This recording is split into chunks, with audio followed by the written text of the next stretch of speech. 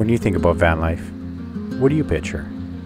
That Instagram picture with the back of the van open by a lake or an ocean and the beautiful sun?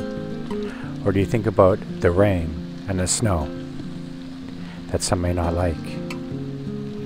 But if you look deep and you look close, that rain can be very peaceful. That rain can be very relaxing. It can be just as beautiful as the sun on a bright sunny day. The sounds that that rain makes on the water can just relax you.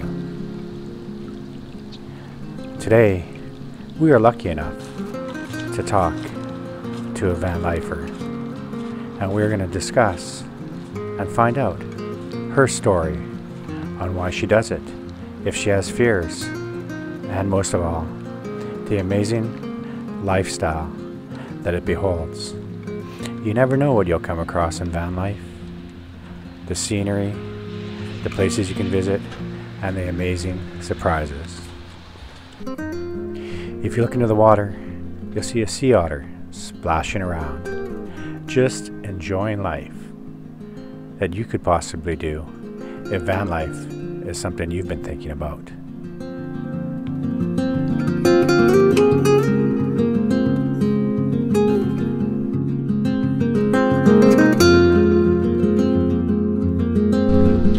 Guys, far in the distance, way across the bay, I think I see something that I recognize. A big blue van. Let's go see if she's in. On the drive over there, all I keep thinking about is the questions so many have, and I have the opportunity to get some of those answers. How safe is it? Do you feel alone? Why would you choose van life over sticks and bricks? And is it really a true lifestyle?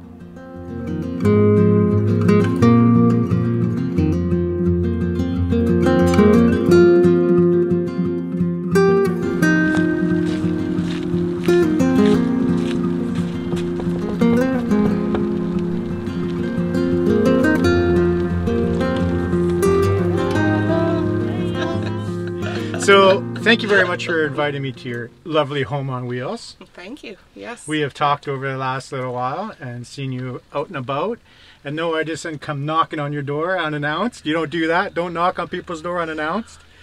Um, so, what I'd really like to do is a lot of people don't understand van life to begin with.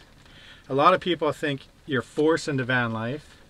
A lot of people think it's unsafe and bad things can happen to you and all that type of stuff. So if you don't mind, I'd like to ask you a couple of questions on your mm-hmm. experiences and things like that. Mm-hmm. So the very first thing is why van life? Well, having been in the van for two and a half years, at this point, it's because I love it. I have no intentions of ever. There's no thought in my mind of ever going back to sticks and bricks at this point.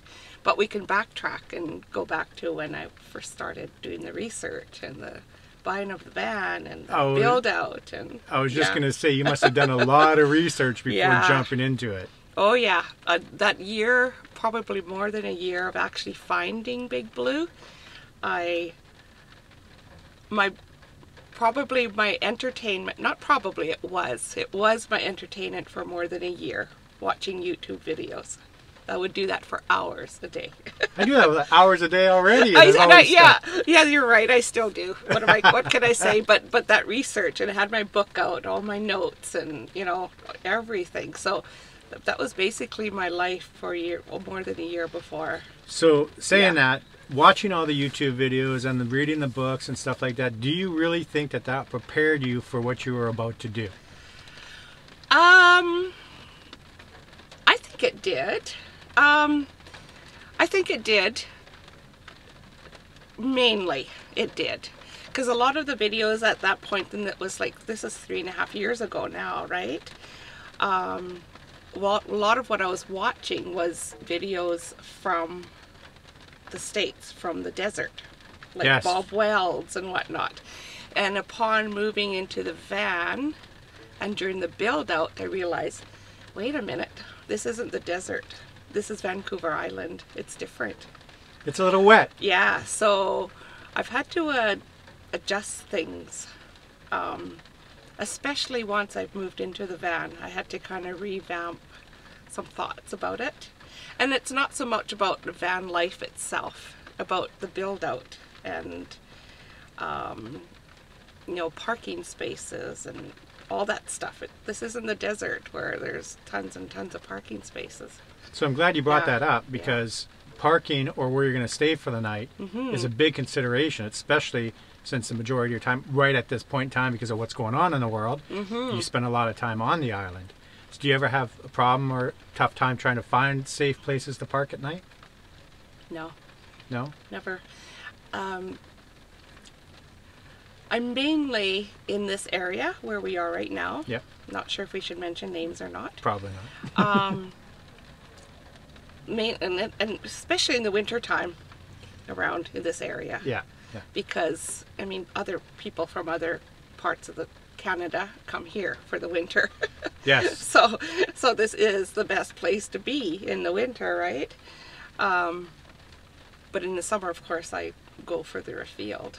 To avoid the snow, you come here in Canada, or try to avoid and to avoid the really below freezing weather too Yeah. even though in the last few days we've had it's been below zero that i've had ice on my van the last two mornings Yeah, it was chilly this morning Yeah. too. Very chilly this had my heater on overnight but last two morning nights So you seem not to have a problem finding a spot, and this has always been a question I've asked because you know it's something that you know is kind of something that we're kind of looking at, Marcy and myself as well. Even though we do do the RV stuff right now and build outs and stuff like that and the DIY, but it's the van. It's the freedom of having a van and not having to worry about a big place to park. So you saying you're not. You find it pretty easy to find a place to park. well i'm two and a half years into it remember in this area so i found my spots You've got to memorize and check it's off. it's in the beginning that um, it was a little bit scary right in the beginning. Um, part of the part of what was what was uh, really nice about this like moving into the van in this area is that my son actually lived in this van two for a year a little over a year two years before i bought the van nice. so he pointed out different places around the area. Oh, so you had the heads up already. I had some heads up, a little bit of heads up. Yes. You were brand spanking new yeah. it. Uh, yeah. So, have you ever felt unsafe at any time being a solo female living in a van? I have to say, I've never have. You never gotten that knock on the door, get out of here, or hey, oh, what oh are well, you I've had the here? not. I've, no, never, never, never, never. I've had what was it? Well, I could tell the story of three weeks into my van life of getting the, the cop. I mean, he didn't knock on the door. It was the morning. I could see him driving up But behind me. but he didn't But that was because someone phoned me in. Ah, So I chatted with him. right. I had to assure him over and over again that this van would start and it's not just abandoned here, kind of thing. That's awesome. So you've Yeah. been really lucky, actually, and in a way, we're we were both kind of lucky with the area that it is a pretty safe area, and there are a lot of places, like you said, you kind of knew you knew people that have already been there and stuff like that. So I'll ask you. People always want to know if you had to restart van life, what would you change? I would say nothing. I'll be honest with you. I You don't love think it I would that much. change anything. I mean, there's a few little tweakings in the van which we'll get into when doing the van tour. I'll talk to you about, especially in this area. This area right here has changed. This is my third change right now. I know. I think last I'm time I saw it, it was a little different too. So, yeah. so it's gone through through evolutions. This one area, the rest of it hasn't changed. So what do you what is if you had to point out if somebody said to you what drives you what gets you excited about van life and you could only say one thing what would that be? My house is wherever I go. That's an awesome answer. no matter where you are it's I'm your home. home. Yeah, and you always have your home with you. totally. And I think that's one of the most exciting parts is it doesn't matter where you go, you're home. yeah, it's it, it's disconcerting, like travel, like getting into other people. Uh, it's disconcerting tra- driving with other people, like in the passenger seat. I have to leave my van behind. Like, oh my gosh, what I have to bring with me? Oh, okay, I need this, and I need this, and I need this. Don't have to do that anymore. Now, it's always here. for some of you that have never seen her awesome channel, make sure you check it out because in this video I am going to leave the link in the bottom in the comments. But I will say that you this isn't your first van either that you've done. This is my first van, but I've done a second van. Yeah. So you've got another van. Right now it's for sale. Yes, it is for sale. Um, and you built Safari, Safari, yes. which is a cool little van that you did as well. Mm-hmm. So I know this isn't about Safari, but I did have to mention it because it shows that you don't need to have a big space, right? It is whatever you want Yeah, because Yeah. not a lot of people can afford a nice high top van yeah, yeah. with the extra room, yeah. right? I, I, I mean, this is my home home. Yeah. My Safari was more my travel van. Uh, yeah, because it is smaller. I mean, it, you know, a little cheaper on fuel, I'm imagining, too. A lot cheaper on fuel. It was fabulous, like double the gas mileage than this whole thing. That's Yeah. awesome. Yeah. So, if you could give one piece of advice or encouragement mm-hmm. to somebody that's thinking about starting van life, or the other question is, keep sitting on the fence. Should I do it? Should I not? What would you say to that person? I never ever had doubts about living this lifestyle. So it was your- Never. It never even dawned, never even entered my mind that this wouldn't work. so you just went in and jumped right into I it. just jumped right into it. I know a lot of people say, well, go live in your van for a bit, like put in a mattress and, you know, a little, you know, whatever, and go live in it for a month or two weeks or whatever it is and just feel it out to see. And I would actually say, now that I'm thinking about the answer to that question, if somebody's on the fence, that's probably is a good idea to do that. Try it first. Try it first. Because what you But you have to try it more than a couple of weeks. You have to try it probably for at least a month, maybe a couple of months. Because those first little while you're still you're still in honeymoon phase. You have to be in the van for a few months to really, really know to get the feel of it and know that this is right for you or not. So you see that all the time on YouTube where some people say, "Hey, just throw a mattress in there, throw a cook stove in there, and go and figure out what you need, or if this is going to be anything that you want." Mm-hmm. Yeah. It's awesome. You've managed to do this for quite a while. Yep, May 1st, 2019, not 19, 20, 21. Yep, all by yourself all by myself. on the road. Nothing bad's happened to you. No horror stories. No nothing. Some people say that it's really scary out there, the whole nine yards, and you just enjoy it. I enjoy it. I in those first couple of months, of course, it's always that little bit of like you're on edge more in the beginning, right? Even in my little area that I was in, Yeah. you're always a bit more on edge, always peeking out the windows, whatever that noise. What's that noise? Um, stuff like that. So as time goes on, it gets more and more comfortable. The ears stay still stay stay open. Pardon me. But don't even bother if it if it's not um, affecting me personally. My van outside my van, I'm, I'm just ignoring whatever's going on out there. So that brings up another really good question. There's a lot of people that are doing the van life or living in a van.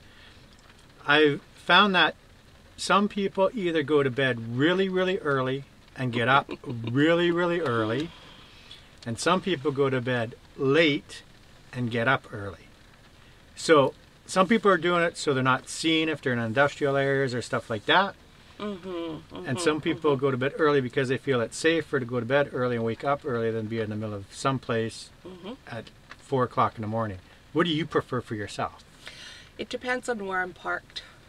It really does. Um, some places I feel totally comfortable just hanging out there in the morning, and I love those places actually. Yeah.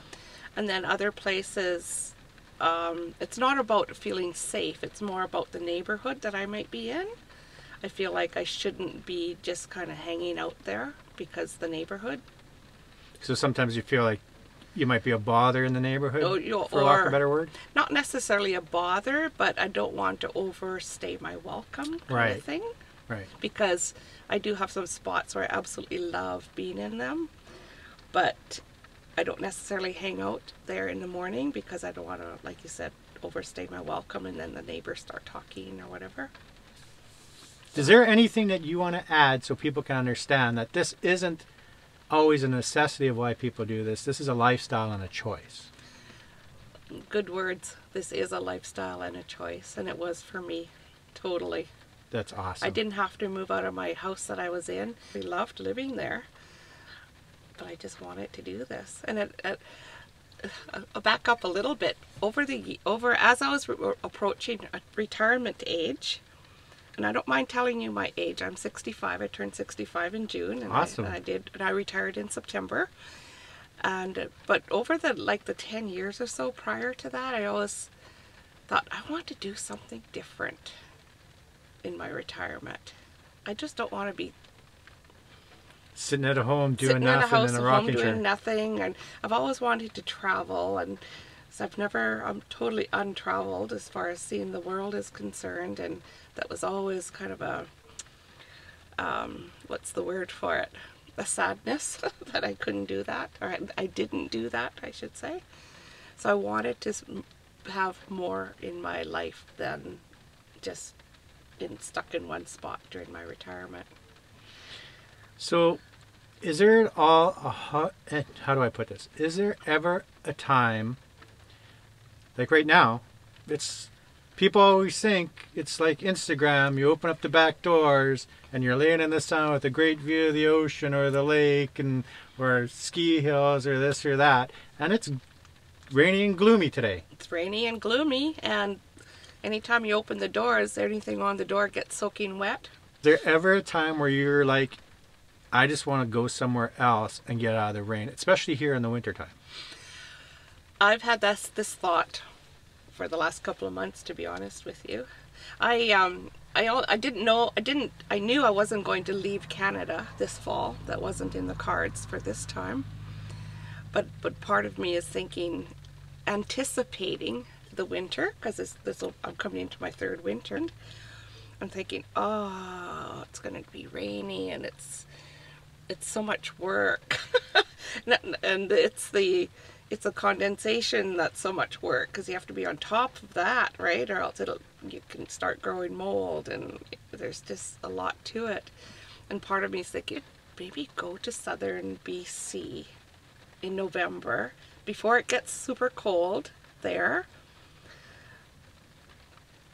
Just because i love it. I went there the summer before in my safari. It's so beautiful. But then I was thinking now it's January that all this rain and gloom and whatnot starts getting to me, right? That just is when the sun's gone for a long time. It does Yeah. seem really like a long gloomy. So winter. I should probably wait until January and then decide where if I want to head east, like off the west coast. so it'll be it'll be very hot, cold there and snowy and stuff, but it won't be raining. no. So when you're traveling, I know some people always make sure that they stay in cell service or whatever, so they can always call for help. And that's never been a concern of yours either. Not necessarily. It's more about do I want cell service that night so I can, you know, check if I just uploaded a video, for instance. I want to check my comments. Yep. So I'm going to stay in cell service that night, right? I do the same. It's like, oh, I don't want to go out of cell service. and then other times I think, okay, I'm just going to. It'd be okay to be out of cell service. I'll just watch Netflix this night or something, you know? And I do know that you have quite a group of people that live in their vans or RVs that you happen to know on the island as well. So you can always reach out to them type of Mm-hmm. oh, thing. yeah, for sure. For awesome. sure. Yeah. So I don't want to take up too much of your time on this. I do want to thank you because there's a lot of people that are concerns, questions, the whole nine yards about do I start it, should I start it, how Yeah. dangerous is it, is it, what are the downfalls in winter and summer? Because winter is a different ball game. You can always put more layers on to warm up, but you can only do so much to get cooled down. Yeah. The summer heat, like, it's, it, yeah, 40 degrees in the van is too hot. So I can't wait to do an awesome tour of your rig. I'm excited about the tour. It's an awesome setup. So guys, I want to thank you for watching this video. I want to thank you for having us in this video to tell us about some of the dangers, if there are any, which you don't have too many of. Yeah. So you're lucky, um, which is awesome. And we are going to be doing a van tour of this amazing van, and I'm excited. So if you like videos like this, please smash that thumbs up. As Marcy would normally say, don't forget to subscribe and ding that notification bell so you'll be notified as soon as the tour comes on. Yeah. I'm excited. And you're going to put the name of my channel. And the name of your channel is going right in the comments. Yeah. Because you got to see some of the stuff on there. And you're about to see that in the next video, guys. We will see you very soon.